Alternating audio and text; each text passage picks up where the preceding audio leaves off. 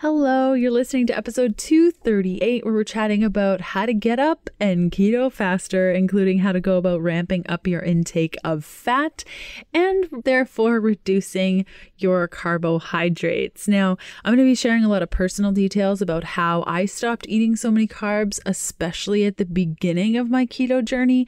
Now, we are rewinding the clock all the way back to July 2014.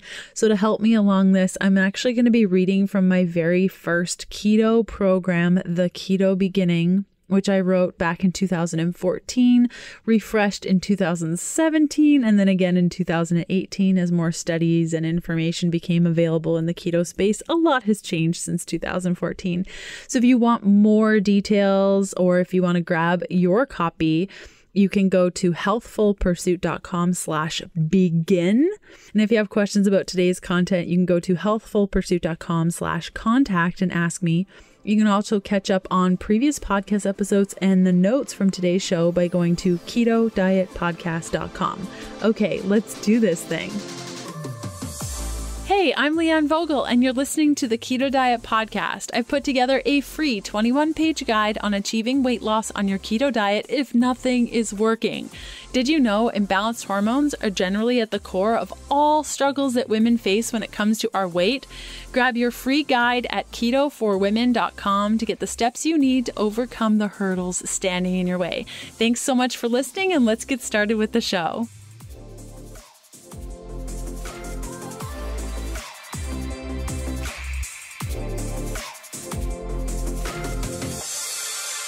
So let's get started. How to naturally reduce your intake of carbs. The first step to reducing the amount of carbohydrates you're eating is to unfriend sugar. If you're still consuming the white stuff, make the switch to options like unpasteurized honey, maple syrup, and coconut sugar. Now, I recommend this because if you go from eating all that white stuff to completely cutting it out, chances are you're not going to have success. Like, that's a big jump. That's like going for your first run and then joining the Olympics. you know, that's that's a huge jump. So instead of like stressing yourself out, start small. And once you've totally rocked that transition, you can begin to play with adding alcohol free stevia to your drinks and sweetening your homemade baked goods with only fruit like medjool dates or applesauce or bananas.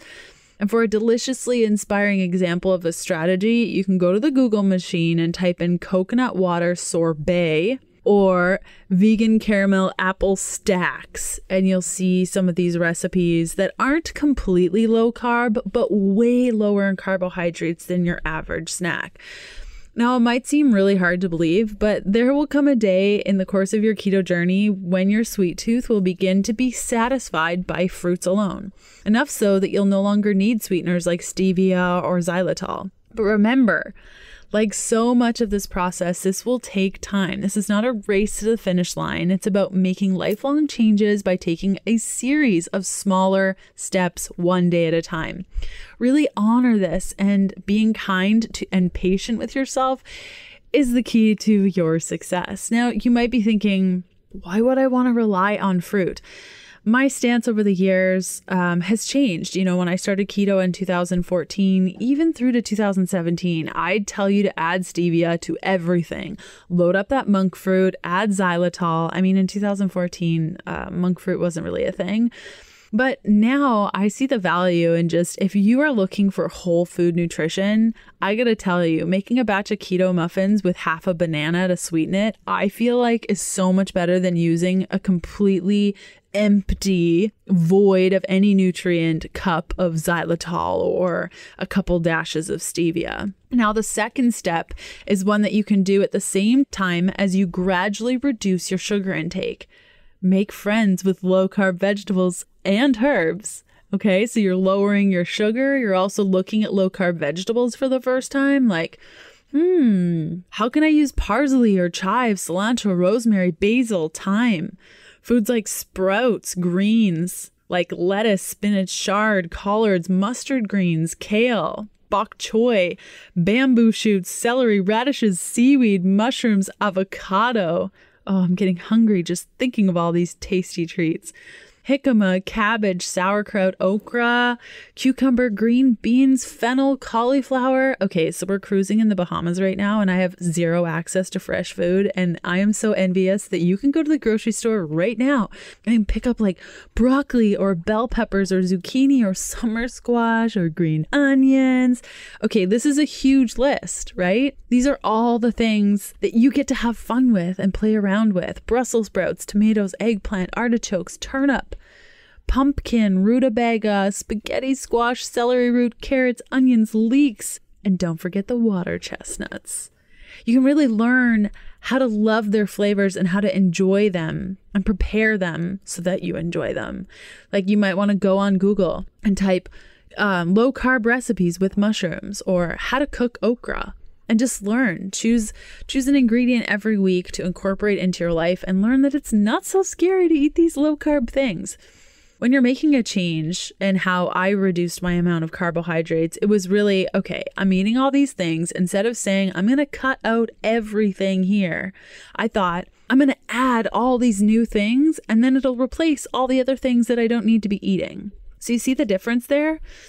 The third step of reducing your carbohydrates is once you feel under control with the first two, let's look at the gluten. Now, gluten is a protein found in cereal grains, specifically barley, rye, oats, and wheat. It is a substance that gives dough its elastic consistency, and as it comes in different forms, it can also be present in grains beyond these four. Now, you might be wondering, what did gluten ever do to me? Oh, what hasn't it done? Simply put, if gluten today were the same kind of gluten that was around 50 years ago, our society probably wouldn't even have an issue with it. But the gluten found in the food supply in North America today differs massively from the gluten our grandparents ate. In addition to wreaking havoc on our gut lining, creating inflammation that often spurs other health related issues, it also affects the way our brains function and our ability to absorb key nutrients. Now, if you're not sure where to start with making the transition away from gluten, my website, healthfulpursuit.com, has over a thousand gluten free recipes. Now, you're going to find as you start to go keto, a lot of recipes online or in your favorite cookbooks um, won't use gluten. So it's important to start to learn how do I make a pizza crust or, you know, how do I replace buns? And I mean, nowadays in 2020, there are so many options for you.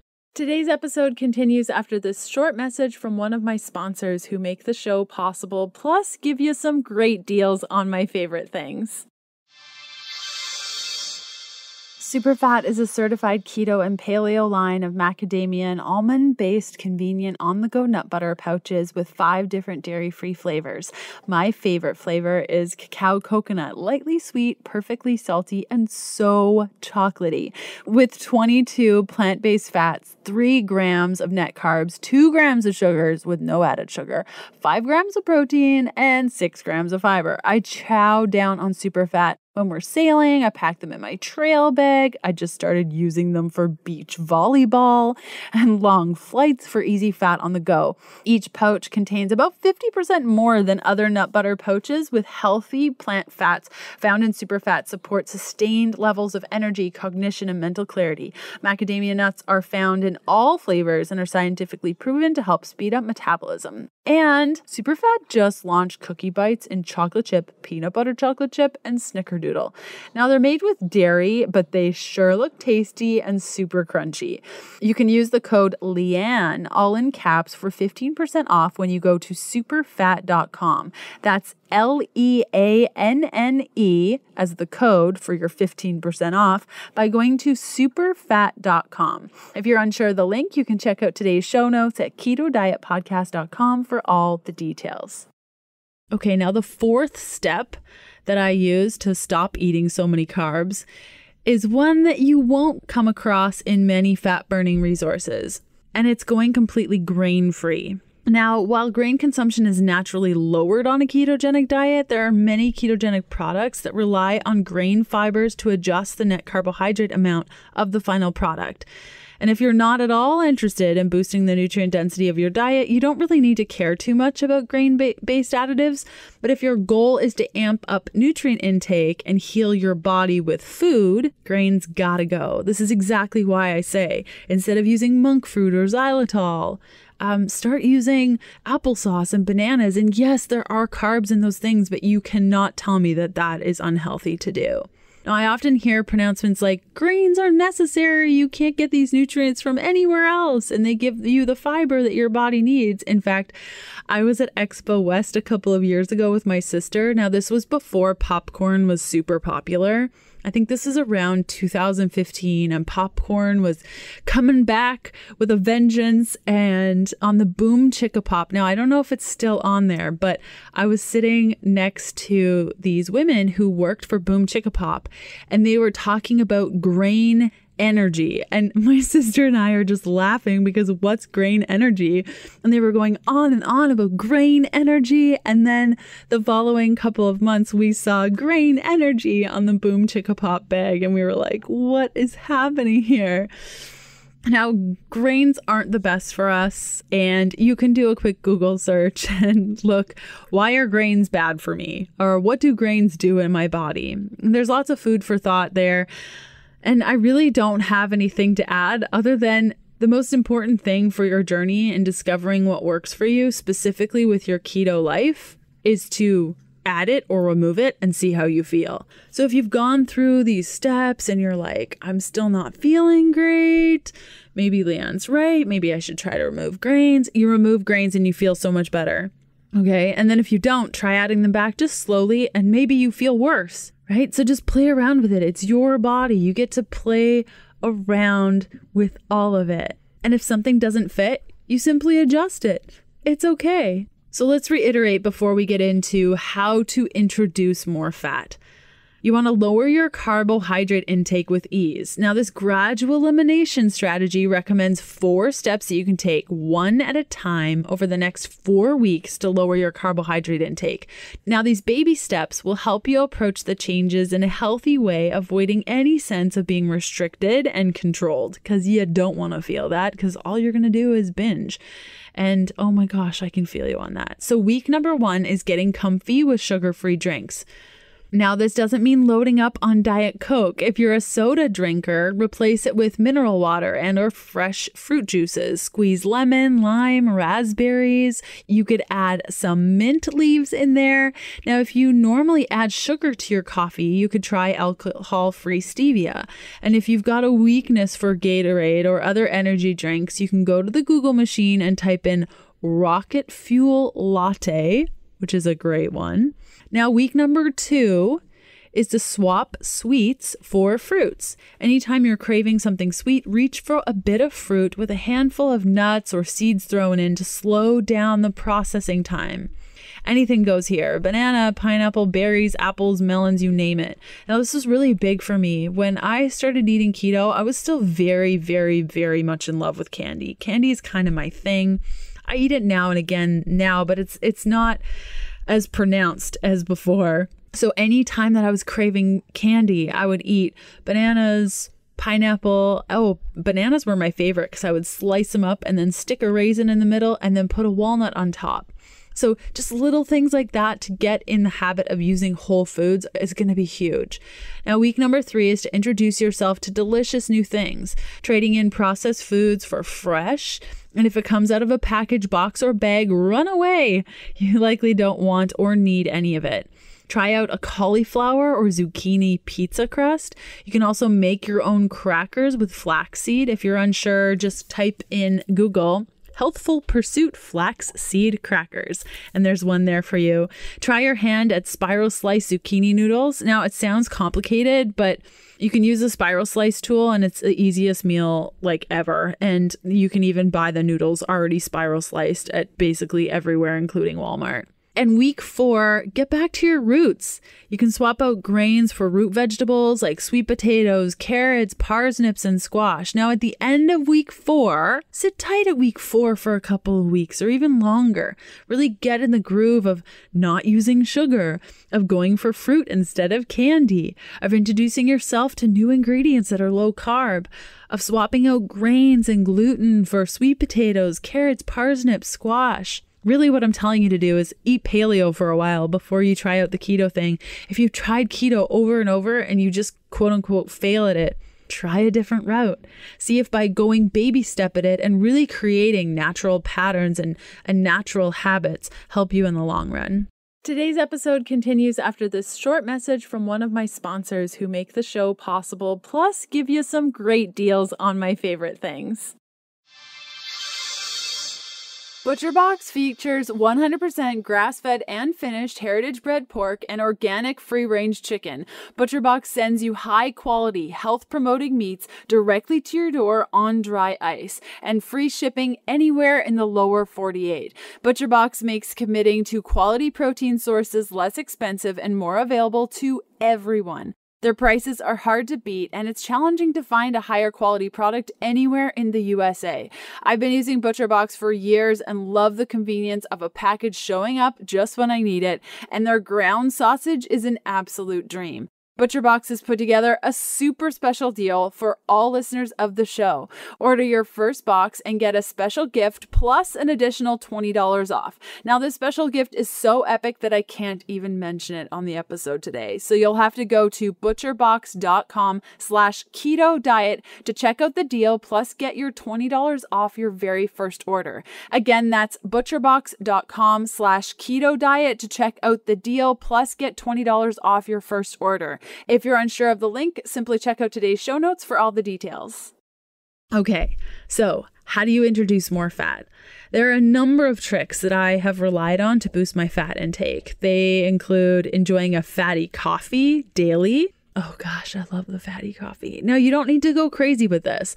Adding a tablespoon of fat like coconut oil or ghee or butter is enough. It's totally enough.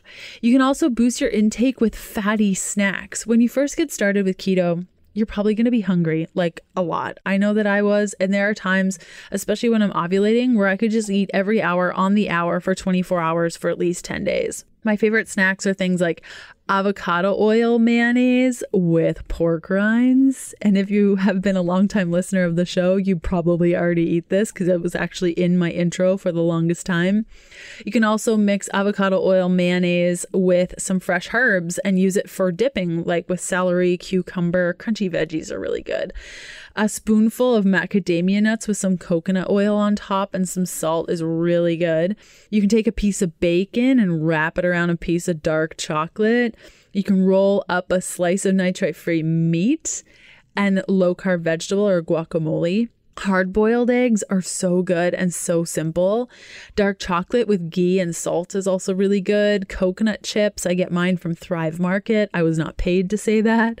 Uh, tomato slices with olive oil is really good. Um, seaweed snacks are great. Sometimes I'll like dip in like a nut based hummus with that. It's really good. Pickles wrapped in prosciutto, pickles wrapped in bacon pickles on their own with mayonnaise. pickles with mayonnaise and nutritional yeast. We eat a lot of pickles around here. Pork rinds and guacamole, toasted sunflower seeds. Oh my goodness, so many different types of snacks to incorporate fat. But you notice I didn't say any like yucky things, right? These are all natural snacks with lots of whole food nutrients. Also, always have a savory breakfast. If you enjoy breakfast, go for a savory one, like eggs and bacon and asparagus. Like something super simple and very savory. It really sets up your day. I know if the first thing I have is a sweet treat, even though it is keto, I kind of like set up the tone to just eat sweet keto treats all day. So you might want to try switching to savory breakfast to see if that helps things. Another one is stick to two oils. Don't get overwhelmed by all of the keto options and all the oils. Stick to two. So, one for cooking, one for salads. My favorite mixture is tallow for cooking and olive oil for salads. Or maybe another mixture could be lard for cooking, avocado oil for salads, or coconut oil for cooking and avocado oil for salads. You see? So, it's simple. Also, choose the fattiest cuts of meat that you can find. Now, on page 37 of the Keto Beginning, I list all of the fatty meats. There are so many, um, like salmon, uncured bacon, brisket, chicken thighs, pork shoulder, and a whole bunch of different types of steaks that you can look for. And really, want to surround yourself with high fat foods, like keep it available. You can also check out the shopping list resource on page 83 of the Keto Beginning if you have a copy or decide to get one. And I list all of the high fat foods you could possibly find at the grocery store to help with your shopping. So I hope some of those tips and strategies really helped you get a sense of how to lower your carbohydrates, how to increase your fats. Really easy stuff. I think it really comes down to take your time with it. This isn't a race to the finish line. Every moment that you're learning about your body, learning what you like and don't like, what your body prefers, is a win in my book. Okay, next up on the podcast, Sunday, March 15th, we have episode 239 my friend Lesia is coming on the show talking about eating keto with a family. And then we have Sunday, March 22nd, episode 240. My friend Jessica Dukes is coming on the show to talk about struggles through keto, miscarriages, fertility, and becoming a mom. Oh, it's a really good episode. Thank you so much for listening and hanging out with me, and I will see you soon. Bye.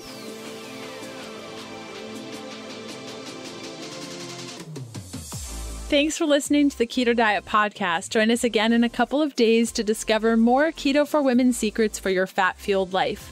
The Keto Diet Podcast, including show notes and links, provides information in respect to healthy living, nutrition, and diet, and is intended for informational purposes only. The information provided is not a substitute for medical advice, diagnosis, or treatment, nor should it be construed as such. We cannot guarantee that the information provided on the Keto Diet podcast reflects the most up to date medical research. Information is provided without any representations or warranties of any kind. Please consult a qualified physician for medical advice and always seek the advice of a qualified healthcare provider with any questions you may have regarding your health and nutrition program.